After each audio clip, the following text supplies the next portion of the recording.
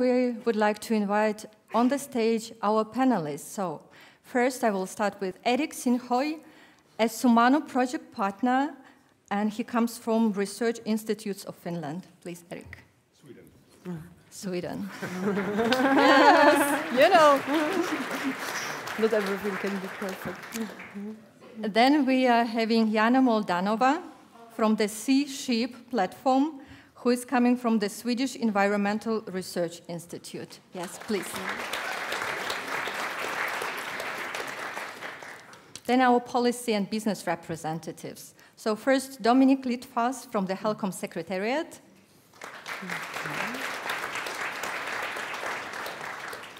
And Bogdan Ołdakowski from the Baltic Ports Organization.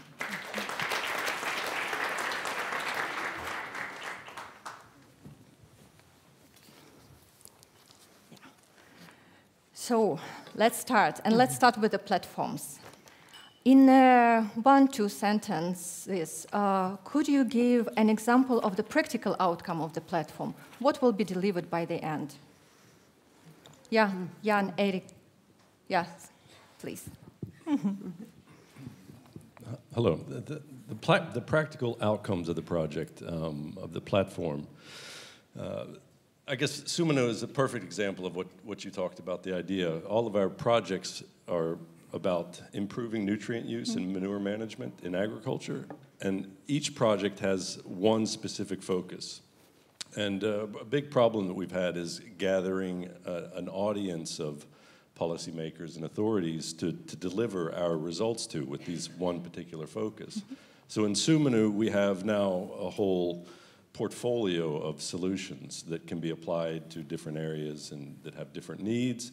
And hopefully it will be much easier to, to, to gather the audiences of these policymakers and authorities with this bigger platform and can, can continue pushing the results of, of all of our projects. So that's, that's hopefully we will be able to, to, to more effectively drive changes in policy. Mm-hmm. Yeah, okay. Jana, and the practical outcome of the CSHIPP yeah. platform? In, uh, in CSHIPP, we have two kinds of two types of projects. There is one type which is uh, focusing on environmental impacts of shipping and on holistic assessment of, of, of the impacts, and then we have uh, another part which is more working with this business potential of, of these environmental technologies. And I see the the practical and, uh, examples of inputs. One is one is uh, coming, uh, one is, um, let's say, uh, preliminary uh, environmental policy recommendations, which will be submitted to the HELCOM Maritime, HELCOM Maritime Group. Uh, and the second is uh, recommendations or best practices for uh, financing of the environmental technologies in shipping. Yeah, yeah, good. So you already mentioned that from your perspective, you think it's useful and relevant to synthesize those uh, outputs. But do you have some examples from your projects how, uh, and from your platforms, how actually you work with policymakers to Erik and with businesses to Jana? So let's start with Erik and Sumanu. Practical examples of how we work with policymakers. From, from the projects, we've, uh, in most of our projects, we've, we've, we've tried to from the very beginning, established contact with relevant policymakers. And we've, two of our projects are flagship uh, projects. Uh, so we have had a lot of contact with the, the, the policy area, Nutri and policy area, or policy area bioeconomy, and actually both of them. Um, and, and, and, but but the, the problem with the projects is, is that we get to the results at the very end, so we have very little time to interact with the policymakers. So hopefully in Sumanu, in the platform, we, we've already established this contact and we've had, uh, we had a joint co co collaboration with uh, policy area bioeconomy to, to do a, a knowledge exchange day in Finland in, in, in February where we presented um, a lot of the results from our projects and, and had many different authorities and policymakers gathered and researchers and, and other stakeholders. So hopefully this is what we plan to try to continue doing, mm-hmm. um, to, to, to, to use these connections. Yeah. Pathway to the sustainable shipping is very complex mm -hmm. and uh, what we, how we work in a, in a CSHIPP, it's very much um, trying to synthesize uh, because we have a lot of a lot of projects which are working with uh, with different issues, and uh, which have developed this this assessment during a longer time. So what what we are working is to trying to synthesize and give give clear indications and clear analysis of of the the first what the what the impacts are the complexity of them, and the second is what these different, the, both the policies and, and the technologies, what, mm-hmm. what impact you can expect. Uh, so I think this our, our approach is uh, in one way to policymakers, but often the industry is actually represented in this grouping mm -hmm. as well through associations, and, and this is maybe the, the durable part of the of this collaboration because we can we can somehow use utilize the, the contacts we have made throughout the projects and I mean we have uh, we have indicated that also how the platform began that we have indicated some synergies between the projects already during the mm-hmm. uh, before the platform was built so this is now we have really possibility to, to work together and to, to sort of uh, go further in this in this analysis. Hmm. and there are importantly there are businesses already involved in some of the projects, especially in the technical parts. So I think they can really draw uh, draw uh, use of the of these uh, results, and also the other way around in the, in the when we develop our our synthesis or our um, assessment for policymakers, we can of course have a use of, of all these uh, rather technical parts of the project where we can assess the, assess the impacts directly with the, with the framework we have developed. Yeah, good. Thank you. So we heard now the uh, platform perspective, but then let's, Marta, go to our stakeholders. Okay. Okay, then we really would be very curious to kind of get a better understanding of, uh, of the counterparts from the policy, uh, policy level for business level. What are your needs? But before we go to that, I think it would be fair enough to just get a short, uh, one, two sentences introduction about uh, both of your institutions. Uh, perhaps we would start with Dominik, uh, two sentences about. Good morning, everybody. Mm -hmm. So um, I am from uh, I am from Helcom. Uh, my name is Dominik Littfass. I'm standing in for uh, Monika Stankiewicz. And um, Helcom is short for um, the Helsinki Commission, which is even shorter for the Baltic Marine Environmental Protection mm-hmm. Commission. And I guess now everybody uh, would understand why we prefer to use Helcom. But as the name also says, um, Helcom works uh, towards the environmental protection of the, the Baltic Sea. Um, HELCOM is based on a treaty, a convention, which is called the, the Helsinki, uh, the Helsinki Convention. And there are 10 signatory parties to this convention. It's the nine Baltic Sea countries, um, plus uh, the European Union. Um, why is this important, and uh, how does this link to, to, um, to, to, the platform work? Well, I mean, one, one of the articles um, one of the principles in the convention states that the signatories um, are obliged to utilize best uh, available technologies and best uh, environmental practices.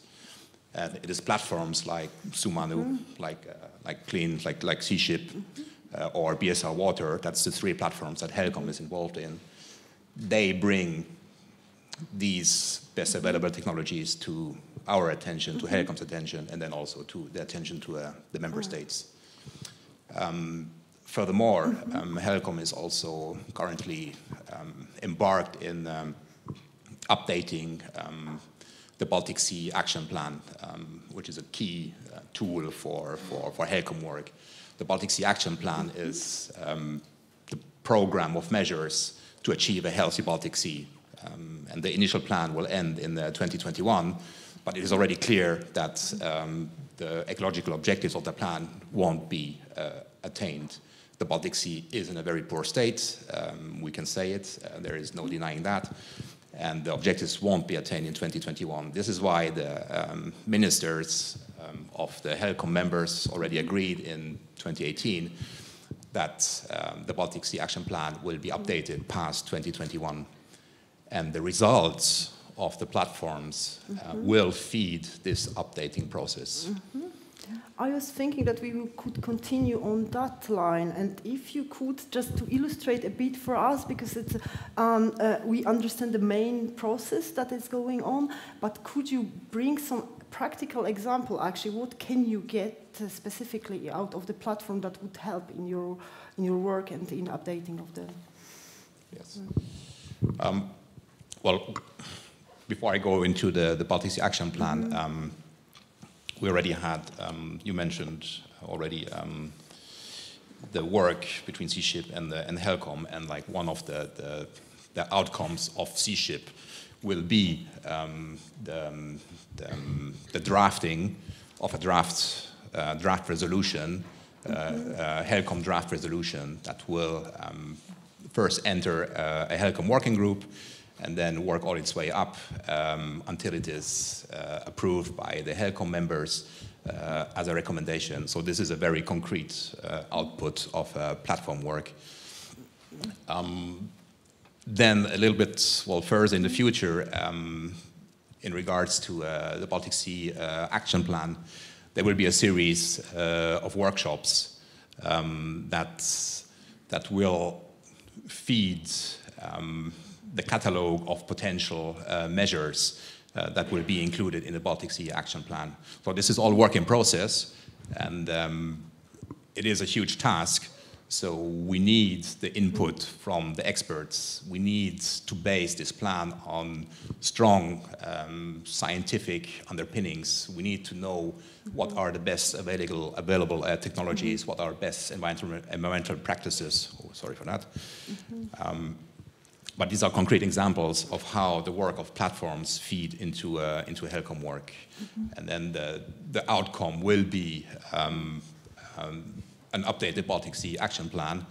Um, for Sumanu, um, there is also um, currently um, the same ministers that agreed to update the Baltic Sea action plan. At the same meeting uh, in 2018, also agreed to develop uh, a regional strategy uh, on uh, nutrient recycling for, for, for the Baltic Sea. And this is key because one of the key, one of the major pressures on the Baltic Sea is eutrophication, and uh, was almost uh, the entire sea affected by eutrophication. It's um, about 90, 97%. So it's quite dire, and there is really need for action on that. So the results from Sumanu um, will feed into uh, this nutrient recycling uh, strategy as well. Thank you very much indeed. We uh, would now, uh, I would ask Bogdan to, to do exactly the same, to shortly introduce um, uh, your organization, the focus of your organization, and then perhaps also already reflect on uh, how you cooperate with the platform, or if it's yet too early, how you intend to cooperate with platform. What is most useful about the platform work in your area? Yes, well, first of all, thank you for inviting uh, me here and, and inviting Baltic Ports. And maybe I would start that uh, the, the first part of the panel was very interesting to, to, to learn what uh, the platforms are uh, really for. And for me, it, it, was very new and very informative. So thank you for this uh, kind uh, introduction. When it comes to Baltic Ports Organization, we are the association of the ports around the Baltic. We are having the members from all countries including Lübeck, and including Kiel, Rostock, and uh, Wismar, and other uh, German ports. And uh, for some last years, we have been following the development when it comes to new regulations that regulate the maritime transport in the Baltic. And of course, those regulations have a huge impact on, on, on, the, on the market, on the, on the business. So uh, there were uh, lots of uh, talks how, for example, SECA regulations would impact maritime transport. And now I'm coming to the point. what is useful in, in these platforms that they all they take results from many um, many projects and they uh, try kind of conclude and, and comes to some important messages for, for the business sector. Mm -hmm. So for example, when it comes to implication of SECA, we can learn that the, there was not too much of the modal shift uh, from uh, maritime to, to land transport. Uh, we learned also uh, what was the real uh, reduction of the emissions, what was the implication for technology part. So I think those kind of messages, integrated messages, are very important for the um, for the business partners. And when I looked at the project level and the platform level, I think the projects are more for, for the single operators. And if they see the, the, um, the real um, benefit being a part of the, of the project, and if they can get, for example, some uh, uh, solutions for, for their challenge, their problem, of course they are willing to, to be a, a part of the, uh, of the projects. But when it comes to the platforms, I think it's more for, for business associations. Mm -hmm. It's, it's one level up. So I don't think the, the single operators, business mm -hmm. operators, they are very much interested in, in, in, in that kind of, of uh, outcomes. It's more for, uh, for um, association like us. Mm -hmm. And then when we receive uh, these messages, then we can transmit them uh, to, to our members. Mm. So that's how I can see the role of the, of the single -hmm. Project partners and, and uh, the, the organization as us at the platform level. Oh, actually, this is a very interesting aspect because I wanted to uh, actually ask: Is it more for businesses, or is it single businesses, or or intermediaries? This type of a cooperation. But now I understand that actually um, you can, uh, uh, with program like ours, you could work on both levels, having these different types of projects creating solutions directly for businesses and also for intermediary organizations like, like yours.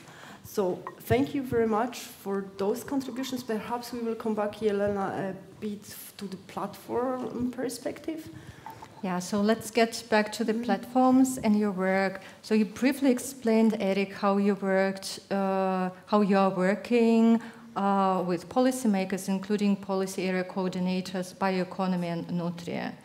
But could you please share what is actually the role of those coordinators in your platform and how did you set up the cooperation with them?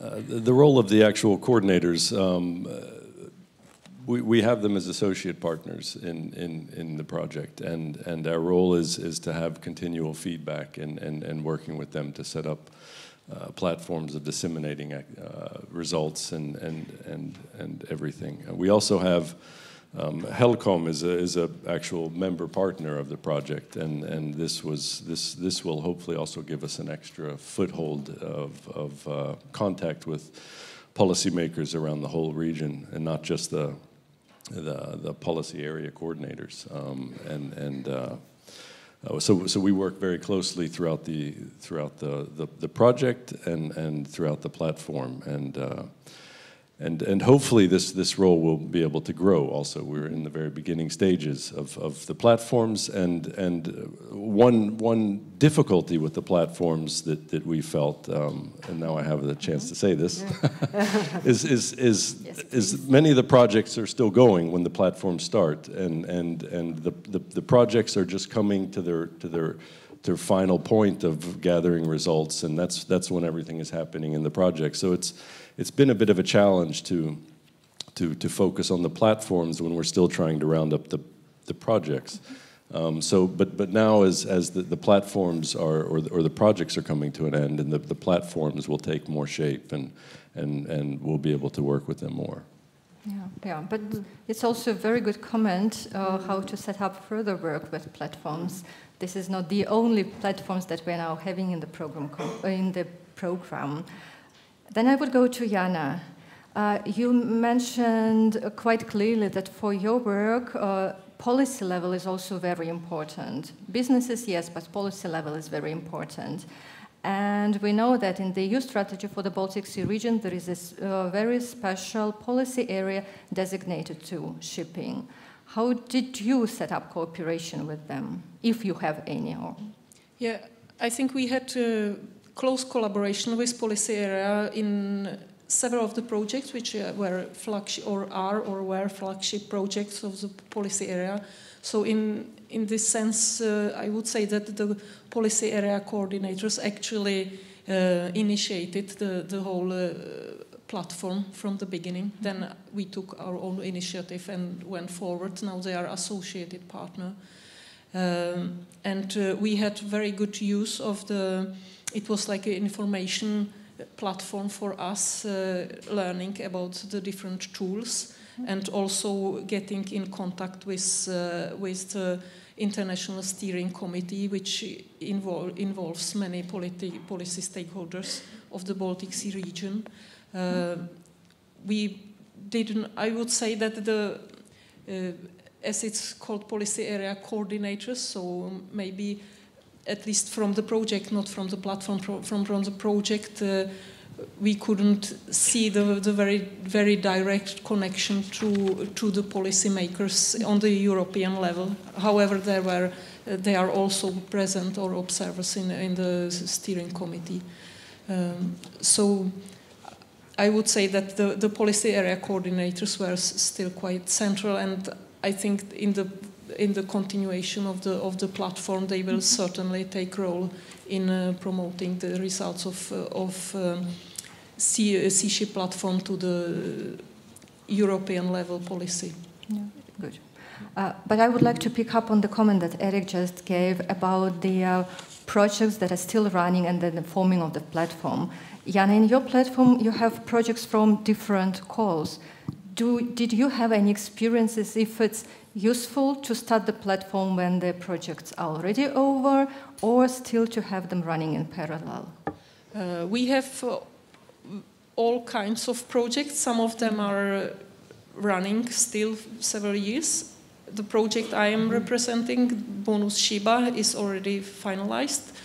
And uh, especially for this metro projects, this is a brilliant opportunity to really, because in the project you focus on concrete results. So this is really opportunity for us to synthesize the results of the different projects and make, and also to, to sort of take together all the stakeholder groups which we have uh, which we have met during the project, and we have also, of course, also identified questions which the stakeholders were interested in during the projects. So, so this is this is really a very nice opportunity for us to take these results, this work with stakeholders further in the platform, and to, to really to, to really deliver concrete solutions on this on, on the pro, on the questions which the stakeholders uh, rise during the project. Um, and of course, uh, I hope that we can feed into the projects which are still running, so they can have benefit of of this uh, synthesis. And of course, we can use as the results are evolving in these projects, we can use them in, in this synthesis mm -hmm. as well, of course. So I think this is very beneficial for, for the project. Yeah, so yeah, it's good to hear that it's both ways cooperation goes on. Erik, would you confirm this, or it was more challenging to also to fit from the platform to the project? I would I would definitely confirm. It's it's it's it's both. Of course there there are challenges in any way you set up but there's there's there's positive and negative aspects of any way you do something. Um, and and one of the big positive things is is that it, it, it brings this platform where we have the projects have very more or less specific approaches to solving the solution and the platforms bring these bring these together and and gives us a, a greater possibility of of, of of uh, disseminating our ideas, and and um, so that's that's that's very very positive, um, I think, and yeah. will be in the future too. So, Erik, while you are still uh, having the microphone, I would address my last question to you. Mm. Uh, the platform have just started, but we are always thinking, okay, then what's next? Have you started these discussions with your partners? What is the necessary next step to take in your field after the platform is completed and through transnational cooperation?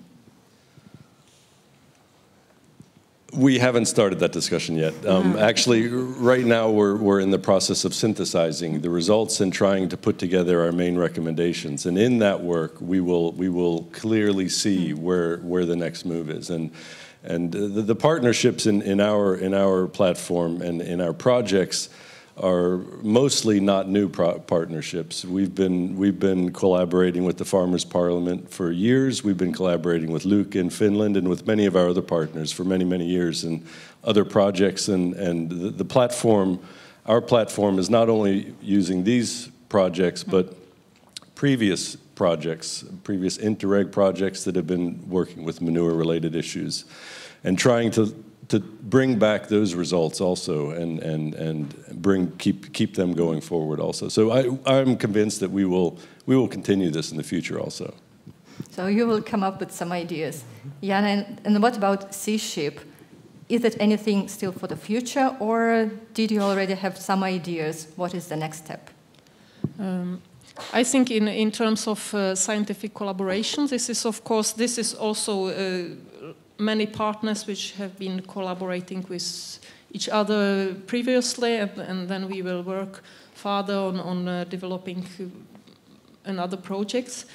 Um, I think in terms of especially this uh, synthesis and, and, assessment framework, which is trans, trans, uh, trans, uh, sort of transferred to policymaking, uh, here I see very important part is uh, that uh, the groups in the sea ships are becoming involved in expert groups and in, in um, working groups of the HELCOM process and the Baltic Sea Action Plan update and also on the EU level that uh, that uh, the that members of the platform are involved in in the task groups, uh, both for the for the air quality for the LRTAP convention and also in the European uh, Sustainable Shipping Forum. So I, I, and also that the actually the results, the, the, the framework itself, the assessment of, of the shipping is, is somehow trans, transferred to these uh, expert groups because I think this is really the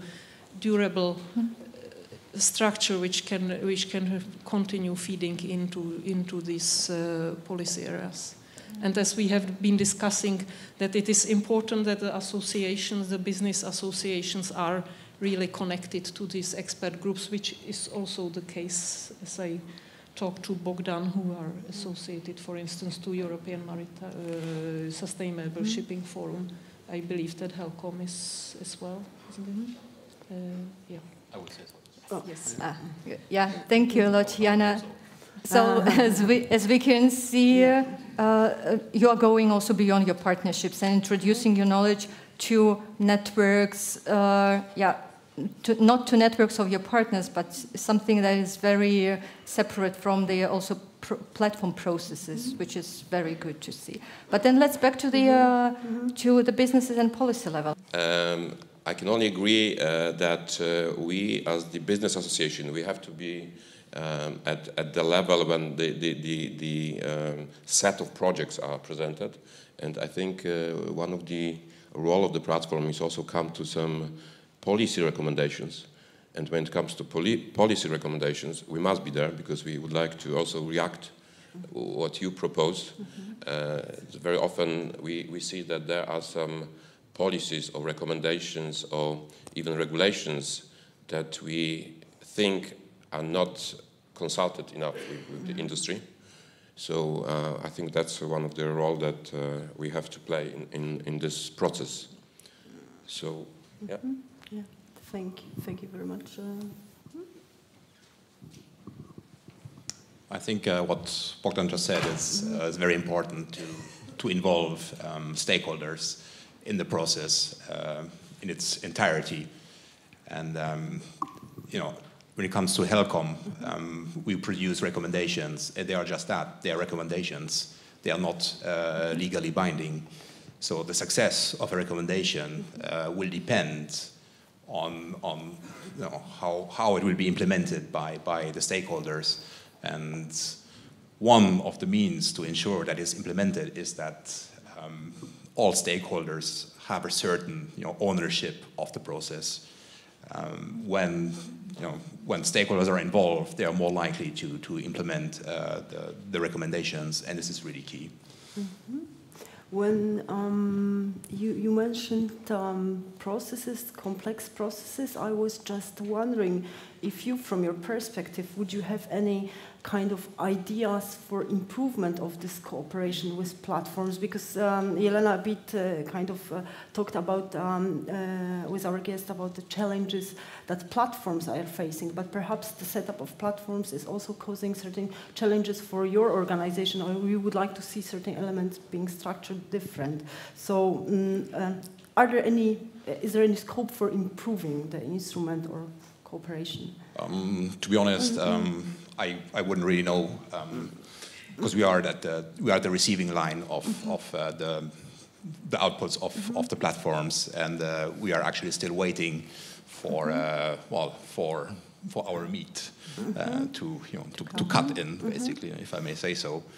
So it is the early stages. But so I will I'm come back with this question in two, three years to you, and we will. Yes. Uh, yeah, yeah, yeah. So we will write an article uh, about it. Nevertheless, um, what is important for Helcom is that um, whatever comes out of the platforms um, is geared towards implementability by, um, by, by policy, and that is maybe something that the platforms should have in mind that when they, you know, when it comes to the outputs, that okay, how is it implementable by by, by policy? How how feasible is our outputs? Mm -hmm. I understood that Bogdan, you had some kind of comment on this one. Yes, uh, I think we agreed that uh, we, we, should uh, uh, uh we should together try to, to, to, get more business representatives at, at, the at the level of platforms, and I think it's not that easy because if you look at, at the Baltic, there are lots of uh, cooperation between public or NGOs, but not that many in, in, in a business sector. Um, I don't know why, but that's the reality. Uh, there's quite many national organizations like ship owners or, or technology providers. Um, we at Baltic Ports, we, we have uh, prepared our own uh, policy paper, which is about promoting Baltic as a model region for green ports. But apart from that, I, I think there are lots of achievements on, on technology side. And I was just wondering uh, why not try to, to get those providers together and maybe uh, try to promote those achievements, uh, Baltic achievements, out of the Baltic. So I'm not sure if this is online with the uh, with the program of the Baltic Sea, but uh, that's uh, is what is I have in mind. An interesting idea that will definitely contribute to our discussion about involving the target groups, what was uh, actually mentioned, and this very important topic uh, of our program also for the future. And I think with this very good concluding uh, words, we could uh, kind of uh, finalize the session. Jelena, would you? Yeah. Thank you, Marta. Yeah, we would like to finalize the session, and we would like, first of all, to uh, thank our guests from both platforms and their big supporters, as we can see now. But this is only finalization of the session. The platform work uh, of these two uh, partnerships will continue the same way as for four others. As explained yesterday, we are having six at the moment, but just tomorrow there will be a couple more when the monitoring committee will take the decisions what are the best platforms to go on very soon. Yeah, so we will keep keep on watching and uh, attending your events and cooperating with you too. Thank you. Thank you very much.